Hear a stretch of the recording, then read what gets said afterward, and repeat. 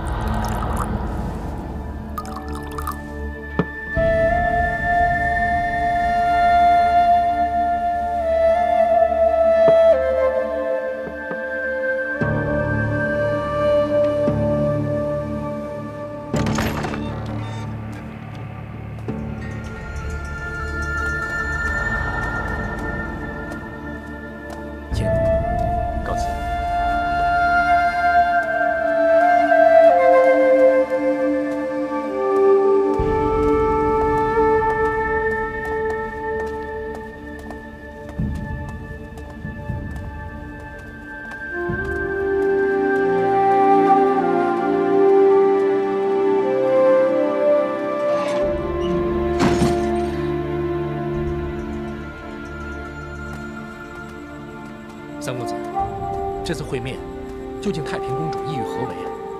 我觉得姑姑怕是想试探一下本王吧。为什么呀？姑姑野心勃勃，不在皇后娘娘之下，才智更胜娘娘。这次忽然退隐太平观守孝，想必是另有图谋。公主若有所图，是不是跟公子有关系？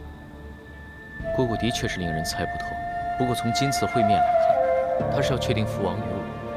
是不是站在皇上和皇后这一边？莫非太平公主怀疑三公子和王爷会与皇后武三思结成同盟？这我还不能确定。不过姑姑有心觊觎地位，又岂会轻言隐退？她似乎是想拉拢我们父子俩，借助我们的势力对抗皇后和武三思二人。三公子这么说确有道理。就拿这次牵狗比赛来说吧，连抱病不能参赛的蓉儿，也要强行诛杀。说到底，蓉儿也是太平公主的心腹婢女。娘娘这么做，看来心中所想和公子一样。其实蓉儿只不过是一个普通的宫女，姑姑会为她而被皇后逼得出手吗？可怜的是，那些无辜的宫女枉送了性命。是啊，可怜的还有那个叫孟凡的宫女，她的妹妹也快成为无辜送命的一个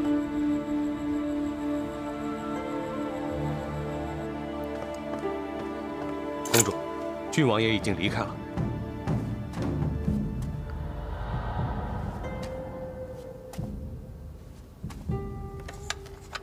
公主一直愁眉不展，所谓何事？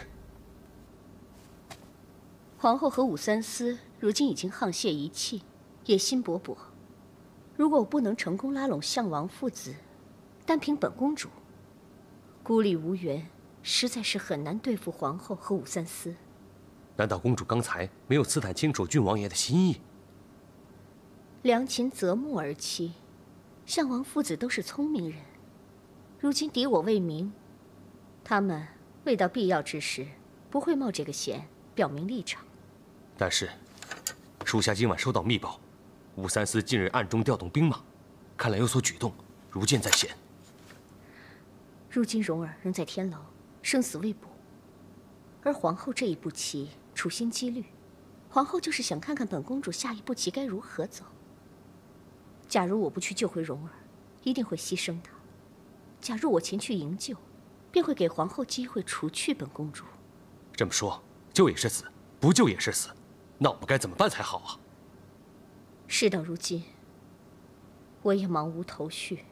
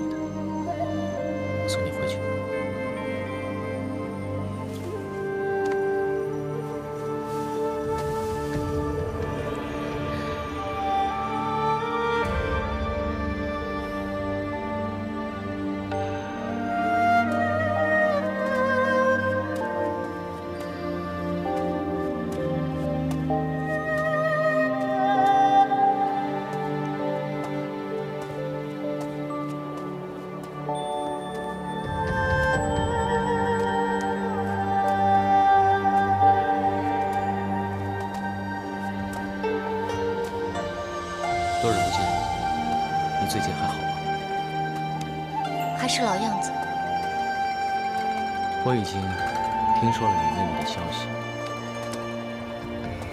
你来这里，就是为了要向太平公主求助，希望她可以帮你吗？但是奴婢等了一个晚上，太平公主始终不肯见奴婢。太平公主她做每件事都要有足够的备忘，否则是不会多管闲事的。难道这个道理你不知道吗？奴婢知道，只是只要还有一丝希望可以救出我妹妹孟府，我都不会放弃。那你为什么不直接向皇后娘娘求情呢？皇后娘娘何尝不是和太平公主一样，只会做些对自己有利的事情？说的也是。可惜，本王虽是皇族中人，不过此事乃皇后所为，本王实在是不便插手。奴婢谢过郡王爷的好意，奴婢定会自己再想办法。可你只是一个小宫女，又能有什么样的办法呢？既来之，则安之。奴婢相信这个世上没有解决不了的事情。其实，有一个人也许可以帮你救回妹妹。是什么人啊？太子。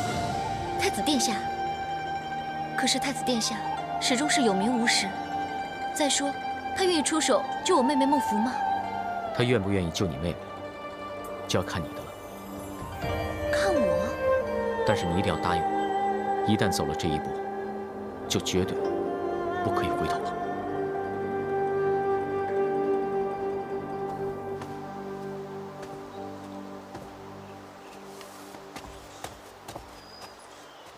儿臣叩见母后。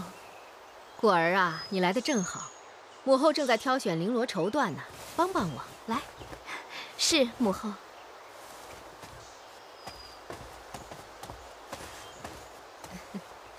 看，怎么样？儿臣还记得，母后在儿臣小的时候就教导儿臣琴棋书画、针织刺绣，而织物就有绫罗绸缎纺、皱纱绒绡锦、拟葛提绢十四种。望之如冰凌之礼，故称凌。若于罗兮轻霏霏，为之罗。你还记得呀？母后教导女儿的，女儿当然记得。哎呦，乖女儿。奴才叩见皇后娘娘、安乐公主。免。谢娘娘。娘娘，刑部已经决定三天之后辰时，将。输掉千钩的宫女与午门斩首示众。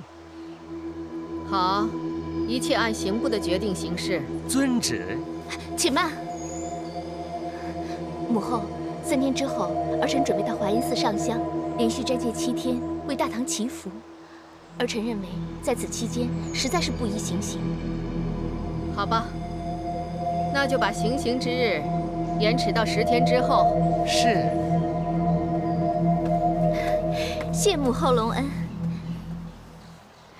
来，我们来挑吧。嗯，这块怎么样？颜色花样都不错。哎，你看这块。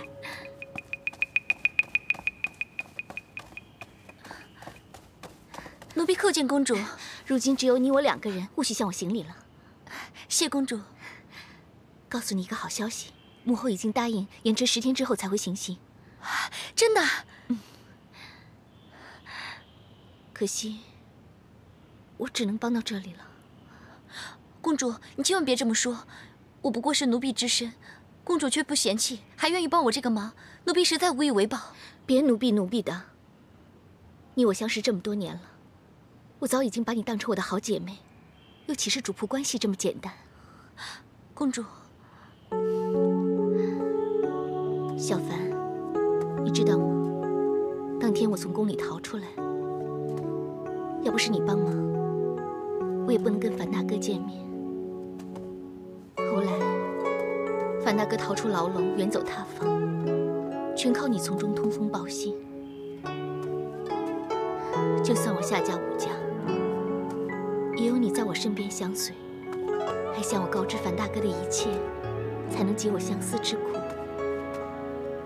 我真的不知该怎么感谢你。公主，你千万不要这么说。你对我的恩情，我实在是无以为报。我曾经对自己说过，无论你有什么要求，我一定会答应你。不过这次你来求我，希望我能救出你的妹妹，我却什么都做不了。奴婢心里明白，公主已经竭尽所能了。可是你妹妹依旧在十天之后要行刑，这……公主请放心，奴婢自有办法。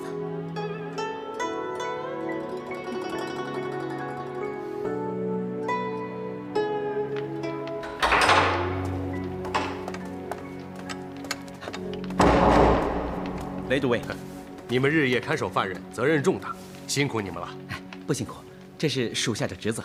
嗯，赏给你们的。谢雷都尉，不用谢。不过你带我们去见一个犯人，蓉儿。这个嘛，看什么看？不想活了是不是？还不快点！是。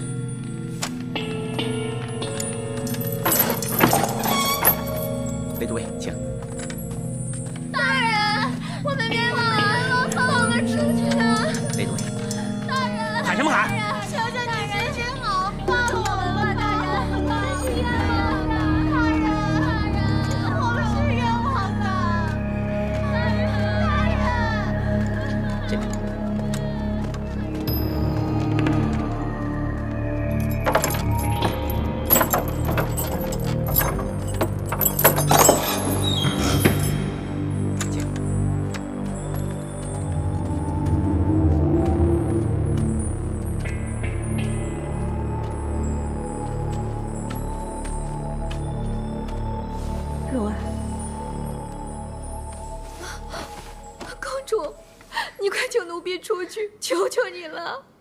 你该知道，这次是皇后有心为难你，向我逼迫。我若贸然救你出去的话，便会中了她的圈套。可是三天之后，奴婢便要被斩首，难道公主忍心看着奴婢死在宫中？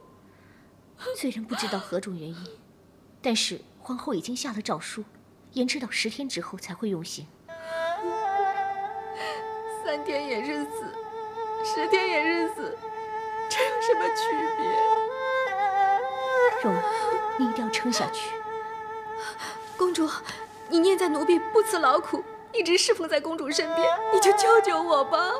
你放心，我一定不会看着你白白送死的。不过这些日子，你要忍耐一下。可是奴婢一天也不想在这儿待了。我知道，不知道。对了，你为何没有进食？奴婢没有胃口。你不多吃一点东西，哪有力气撑下去？等候我救你离开这里。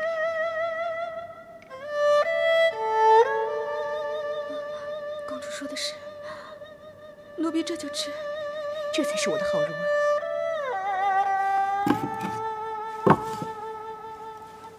快吃点儿。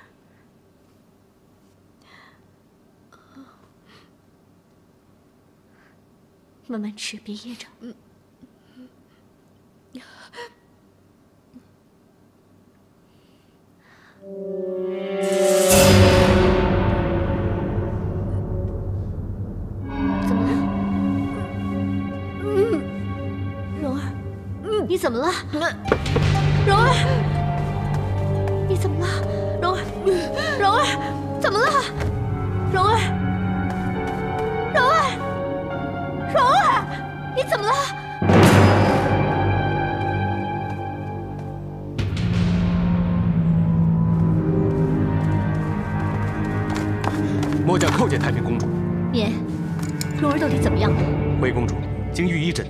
断，证实蓉儿中了毒。中毒？不过幸亏蓉儿中毒不深，加上御医的及时抢救，方才没有大碍。没事就好，没事就好。知不知道是谁下的毒啊？末将问过御医，蓉儿确实是吃了牢房中的饭菜才会中毒。至于是谁在饭菜中下的毒，目的又是为何，末将一无所知。目的就是为了故意激怒本公主。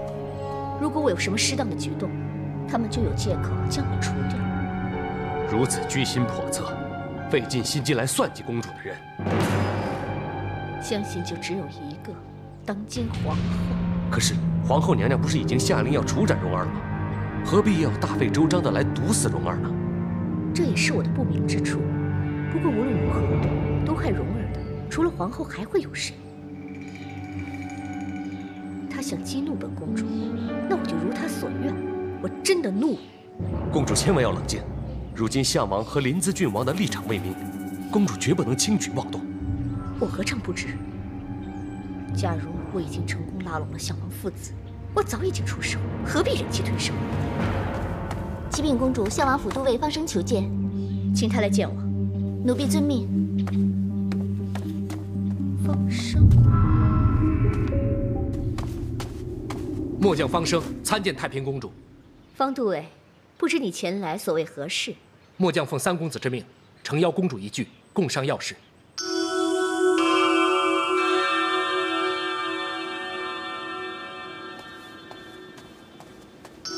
三公子，公主。龙姬见过姑姑。免礼。长话短说，你约我前来，到底有何要事商量？哦，是这样的，姑姑，这里堆放的全都是太子殿下搜集回来的粮食，准备运往瑶州，救济灾民的。此事我早已经知道，那又如何呢？但是姑姑可有知道，太子殿下一直就遭到户部和工部的故意刁难，不是说国库空虚，就是粮饷不够，令他举步维艰。哦，工部和户部两位尚书竟敢如此斗胆，为难太子。归根结底，两位尚书都是梁王的人，太子殿下当然难以一展所长，所以只能四处碰壁了。原来如此。不过，太子殿下遇强则强，不仅没有灰心，反而更加激发了他的雄心壮志，一定要救灾救民。此举实在是令我爹和我佩服不已，因此龙姬决议全力协助太子殿下。你约我前来，就是为了要让我知道你们父子俩是如何协助太子赈灾救民。龙姬深知，姑姑修道多年，也有救苦救难之心。假如姑姑可以助太子一臂之力，这样我们共襄善举，解百姓困厄，龙姬定感激不尽。他日定当竭尽所能，以报姑姑厚德。言重了，修道之人救民于水火，理所当然。协助太子一事，本公主自当尽力。如此，龙姬便先行替太子殿下在这里感谢姑姑的好意了。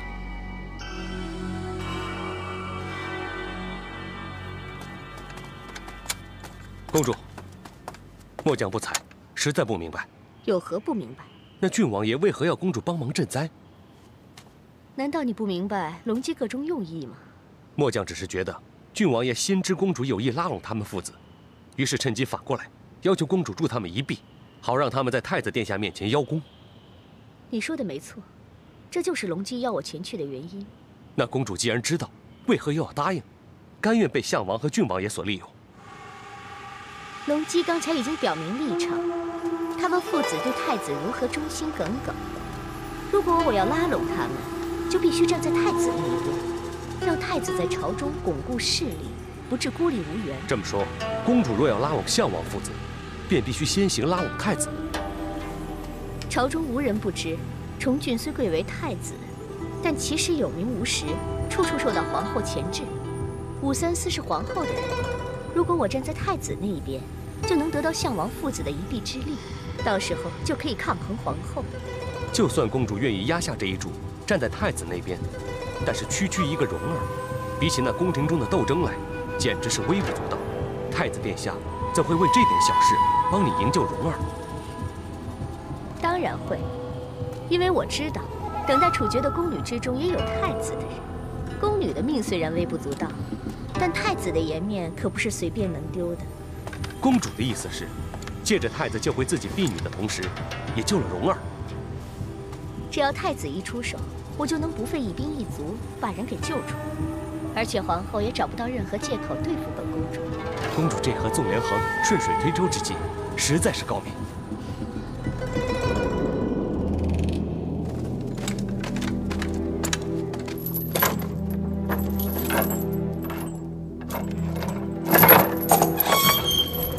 进去吧。蓉儿，蓉儿，凡，你怎么来了？蓉儿，你还好吧？我听他们说你在这里中了毒，你怎么样？我还好，御医说中毒不深，没什么事情。我帮你熬了一些补汤，你喝完很快就会复原的。谢谢你。其实这一次，应该我跟你谢罪才是。真的对不起。你为何要这样说？要不是因为我，你也不会在这里。我坐牢，那是因为皇后娘娘和太平公主之间的斗争，与你有何关系？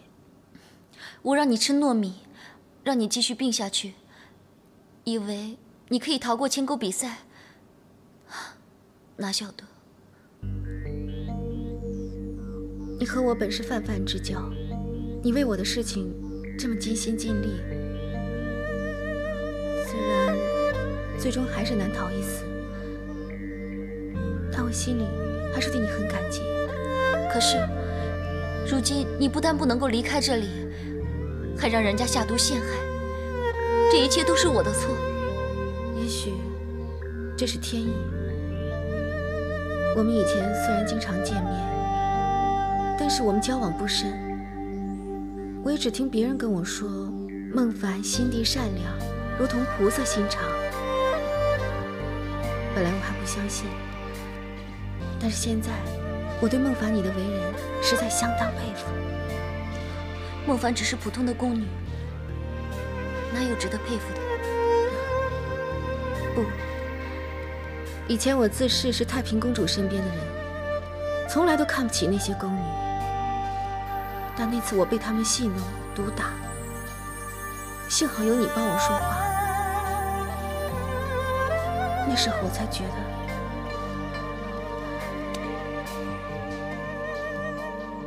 你是一个值得信任的人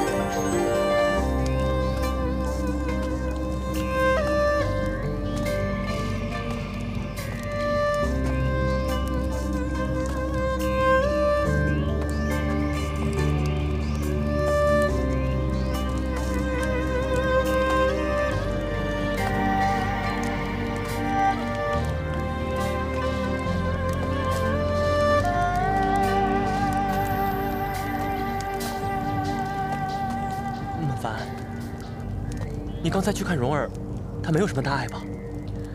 幸好她中毒不深，不会有事的。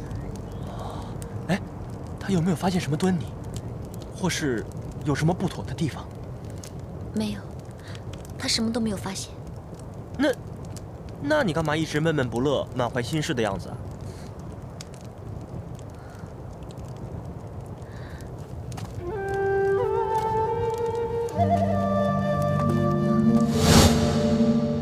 有何良策，可以救出奴婢的妹妹？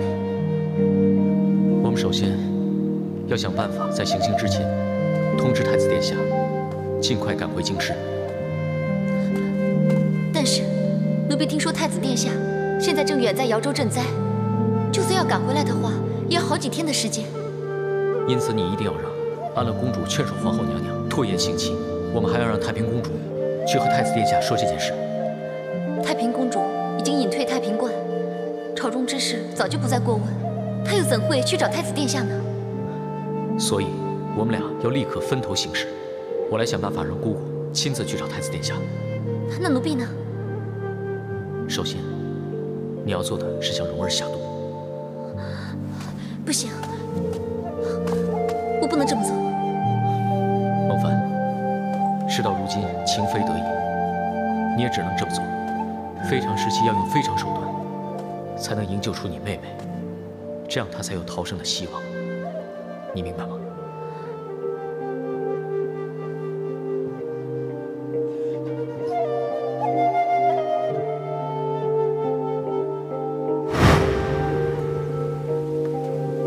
蓉儿向来跟我无冤无仇，我却为了救出孟府，竟然用计毒害她。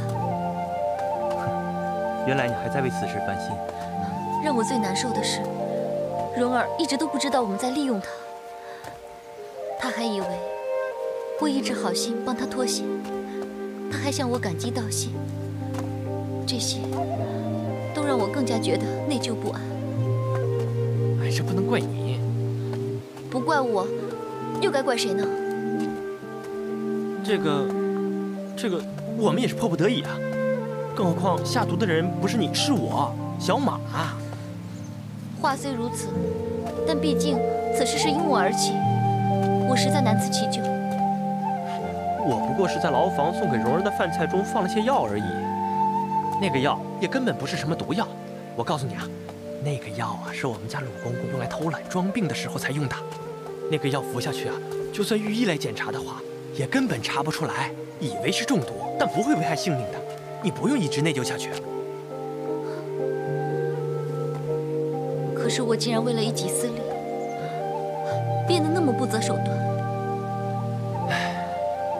这样做也不是我们的错。哎，人不为己，天诛地灭，这是后宫的生存法则，这大家都知道。我们有什么不对的吗？更何况，只要能救出孟福，我愿意用生命来换。我小马今天做的一切，我都永不后悔。好了好了，不要这么盯着我嘛。我，你先回去，我再打听一下。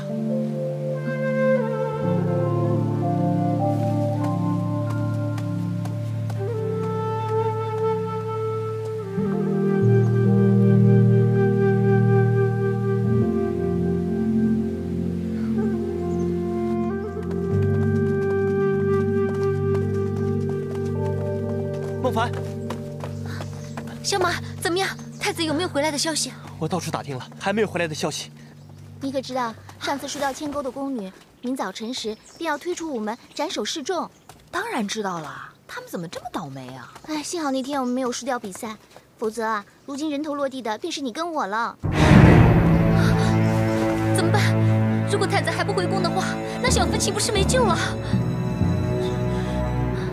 哎，孟凡，不如你再去求安乐公主，希望她向皇后娘娘游说游说，再把刑期拖延一下，好不好？上次安乐公主已经帮了我一次了，这一回我真的不知道还有什么借口可以让皇后娘娘一再延迟。那那怎么办啊？难道孟府的命就就这么苦吗？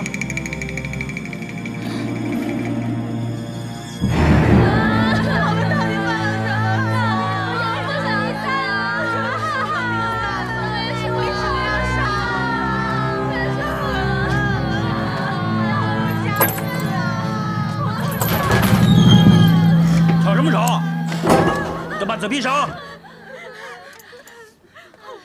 进去吧。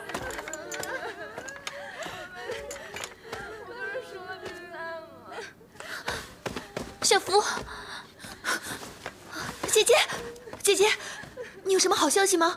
你是不是来接我出去的呀？对不起，姐姐帮不了你。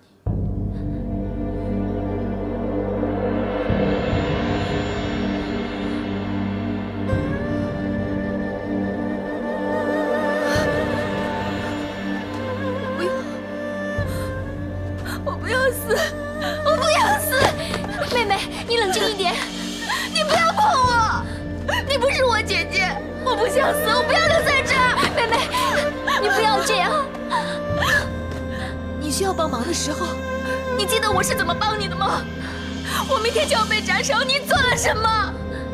你滚！小福，我已经想尽办法帮你了，就连违背良心的事情也做。了。如果可以的话，姐姐宁愿替你去死。那你去死，我不要死，我不要死。妹妹，不要！为什么？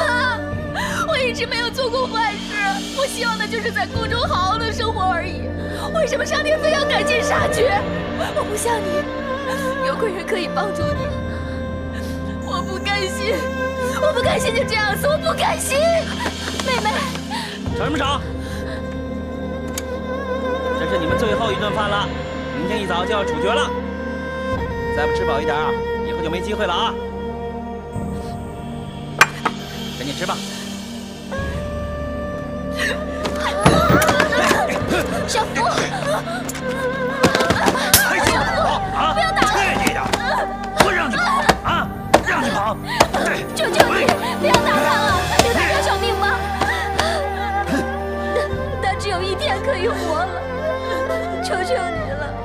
不知好歹的家伙，告诉你，有这么好的一个姐姐，算是你有福气。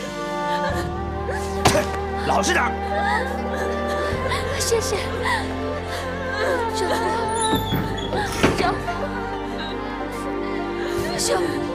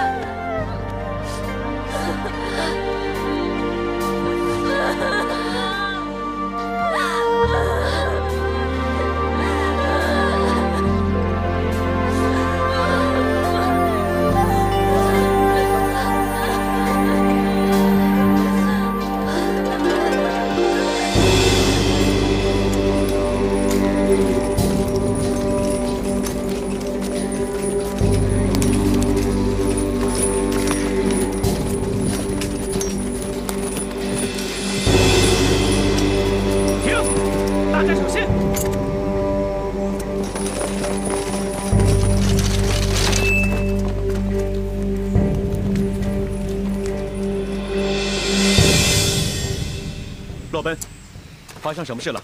回太子殿下，前方来了一队人马，也不知道是何许人。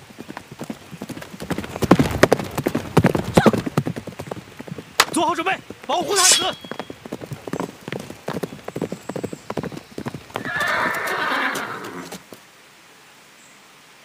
公主殿下，是姑姑。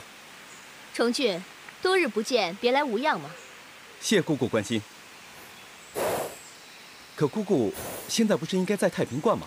怎么会忽然到这里来啊？我是专程来找你的，找我？我有一件事情要和你商量。